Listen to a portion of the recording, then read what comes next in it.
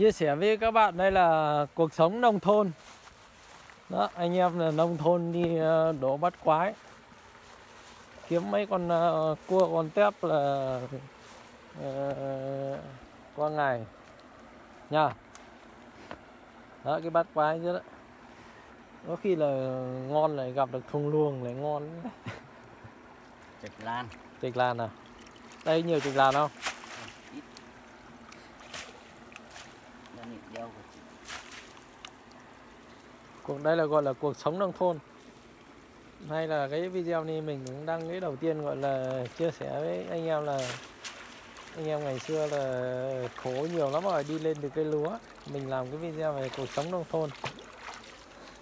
Nhưng mà chứ công nghệ nhiều lắm. Cái ngày xưa anh em đơm đó, đơm rác làm chi có cái chuyện mà có bắt quái gì mà để đánh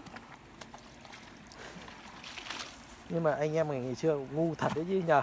Mẹ cá tép ngoài đồng bao nhiêu mà vẫn chết đói. Ông nhận không Chính xác bây giờ mới là khoa học kỹ thuật cao thì lại nhiều. Không nhưng mà cái lúc là cơm canh thì không có nhưng mà có loại ra đồng mà loại bắt cua bắt cá bắt trạch đó. Các bạn thấy mà có cái này đó loại không phải thủy quái nhưng có loại như là cá chê à? Còn cá chê đó cá chê. Đó. Dạ, làm một một ngày ăn đấy làm chi chết đói được nữa ngày xưa mà cái năm à, 89 thể với các bác là tôi phải đi mót cái rễ khoai bằng cái chiếc đũa luộc ăn. Và trong khi ra đồng bắt cá gì mà cái ngày lại còn nhiều cá như làm chi phải ít như bây giờ. Các bạn không nhận không? Cái năm 89 90 mẹ ra đồng thiếu mẹ như cá. Anh em mình ngu thật tóm lại là vẫn ngu nhờ Kiếm được vài con tép thôi. Không nhưng mà ví dụ như một cái Sony ngày xưa mà cái lúc ờ, đó ăn đấy đây ừ, còn không ờ, nói như cụ không ẳng bụng nữa này đó.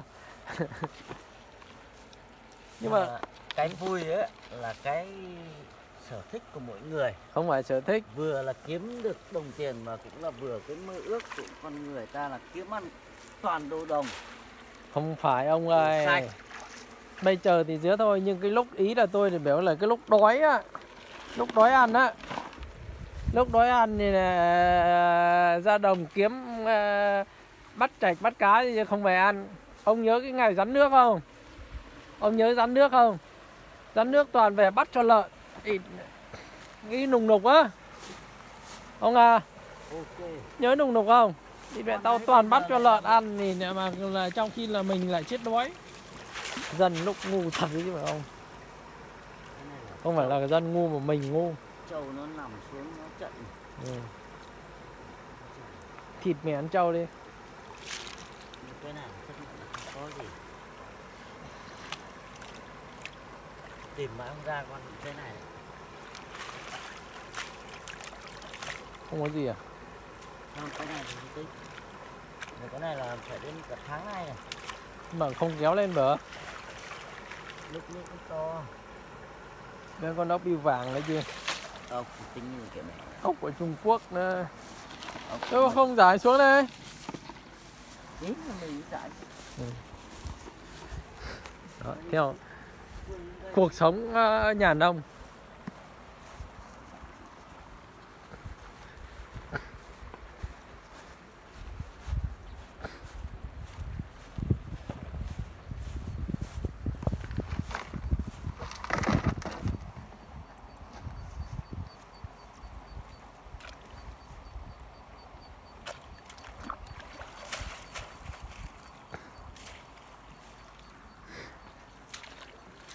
Ni liệu được nhiều không?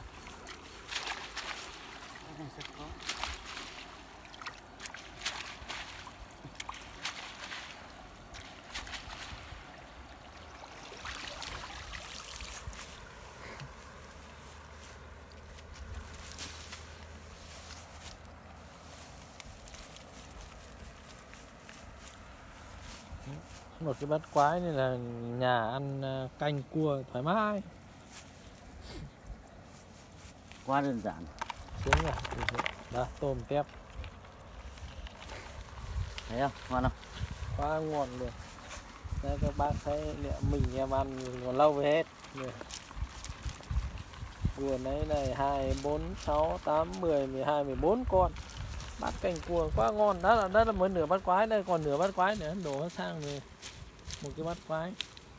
Sướng nhất vậy là anh nông dân. Cao gì sướng mà Nay cái này lên hai đấy. Hả? làm này hay đấy. Rất nhiều người thích. Ố đổ hết. Ô cái thằng này. Không, nhặt đi. Cái đồ bẩn mình vứt đi chứ. Nhà này đó leo lấy đây là bát canh cua. Đây là cua đồng cua sông cua sạch. Đổ hết vào đây. Tí nhặt lá cái thằng này lúc là mình nhìn. Không nhặt làm cái gì? Mấy con tép con con là không cần tính Đi chứ để làm tôm tép này. Sướng thế. Một tấm đây là kênh cuộc sống nông thôn. Sướng.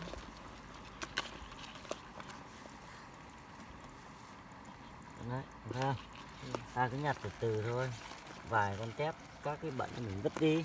Bị đỡ ở nông thành phố làm chi có cái loại nên mà ăn. Nhưng mà khổ vì là nhà mình đây nó nhiều. Ừ. đó cá cà phê em vứt như kiểu là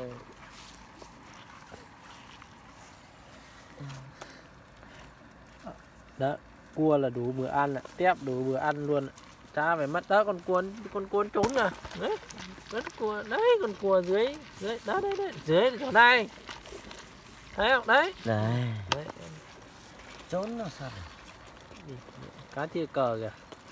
Thôi thì cái cờ thì tất ừ, bỏ. Thì, thì cờ nhặt đấy đi không vứt trên mặt cạn đất chết thì mẹ mi áp rồi thôi. Đây này mấy con tia cờ này. Nhưng mà nhặt làm sao hết được? Nhặt bỏ vào đó tao về tao thả mấy cái bể của tao. Thì lại ngu lắm. nhặt mấy thiệt cờ đi. Tí nữa ông đem về hận chết mà. Chết làm sao thiệt cờ sống khỏe. Nhưng mà tao muốn tao mấy cái bể cổ đi mà cái bể 1964 á trồng mấy cây hoa súng muốn thả mấy con thiệt cờ mấy con cá vàng này là bình thường. Thì cờ tí nữa bắt con to đi. Ờ rồi cũng được. Cái này là cá này là cá chim cá chim à? Con chim vàng cá chim nó lại còn quý hơn chim trắng à hay sao? Hắn là con chim cá chim. Cá chim à? Cột đi vậy này. Ừ. rồi còn mấy cái mấy bát quái nữa? Nhiều. Hơn mấy hơn mấy hơn mấy lấy qua hai bát quái là đủ ăn cả ngày này đủ ông thoải mái. Mình còn ăn còn không hết nữa đấy phải không?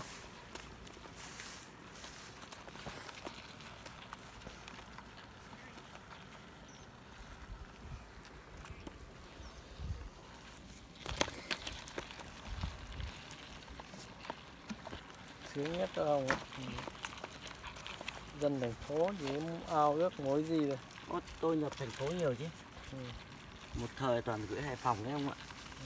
Nhập đồ ăn sạch cho toàn bộ dân hà nội và dân hải phòng đấy.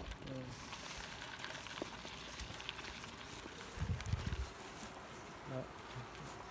Sông nước mênh mông, cứ vứt quát vái gì là lại có cái ăn.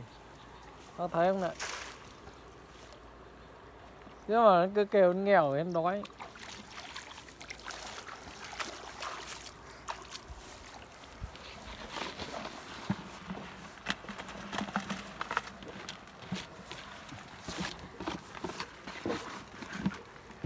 Rồi hai cái.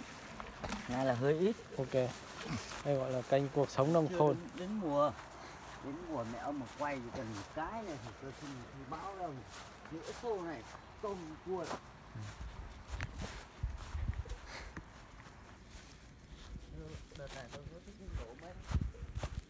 mẹ đổ ngày cái gì thì ví dụ nhà tôi ăn ngày thì không hết. Không nếu là ngày nào ông đổ cũng đừng đấy. Ờ. Nhưng mà 10 ngày ông đổ ông chỉ được cái đấy ờ hắn không vào nữa. Nó tự vô nó tự ra. Ờ. nhưng mà nhưng mà rằng bắt quái lại vô ra được. Hắn vẫn ra được chứ. Hắn phải ra là cái bắt quái của ông bắt quái dở. Bắt quái nào nó ra được. Ra một mắt. Lâu thì nó tự tìm cách nó ra cái hai nó cua nó cắn rách ấy. À cuốn căn rách thì đúng rồi. Nên một cái nó rách thì tôi muốn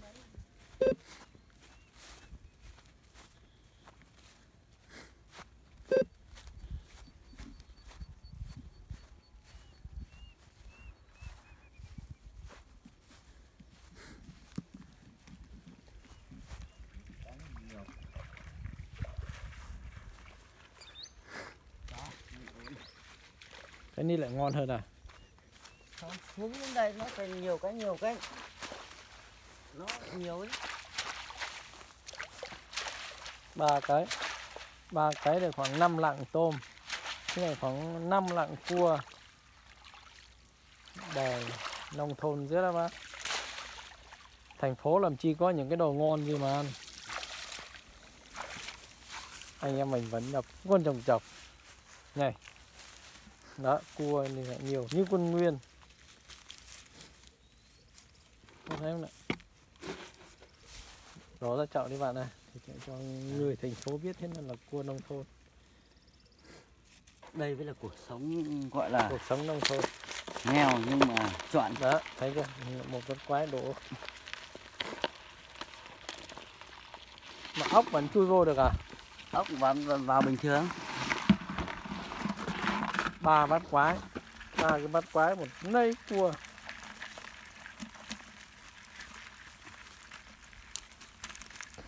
Đời. Không như ăn nhiều cái này cũng chán. Nông nông thôn ăn nhiều cũng chán. Người thành phố lại thích ăn, người nông thôn lại không thích ăn. Cái gì của cái hai cái dở, không hiểu. Không người thành phố lại không thích ăn ờ, mực, ăn ờ, bạch tuộc. Người nông thôn lại thích ăn mực, bạch tuộc cuộc sống thì chỗ nào nó cũng phải có cái cái gì nó cũng phải có cái đúng của nó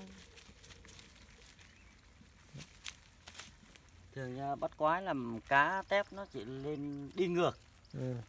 nên là cái dòng xuôi là nó ít Ừ. là riêng cái đít túi là nó chỉ rác nhiều. À, à cái đấy là cái đít lúc này ông giấu cái đầu ừ. cái đầu thì bao giờ nhiều Ừ. còn cái đít thì nó không có nhiều đâu lấy cua đây đó đi có mỗi tiếng này lấy cua này là trăm nghìn. Cua giờ bán mấy nghìn cân? Nó rơi vào tầm bảy tám mươi. Bảy tám mươi lấy đây một cân. Tám bảy mươi nghìn. Mà bán cho nông thôn thì mẹ thành phố là cũng quất. Đó là ở đây bán chứ thành phố nó đang rơi vào tầm trăm rưỡi. Đất như tôm tươi cua này canxi được nhiều mấy thằng muốn phát triển chiều cao không ăn cái gì thì ăn cái gì đúng không? Đúng nhất. Cứ mua thực phẩm chức năng mua ba cái thuốc thực phẩm chức năng để làm cái gì để cho tăng nhiều gia súc hóc vô thì lại sinh bệnh ra. Rồi chào quý vị các bạn nhé đó cuộc sống nông thôn thì thế thôi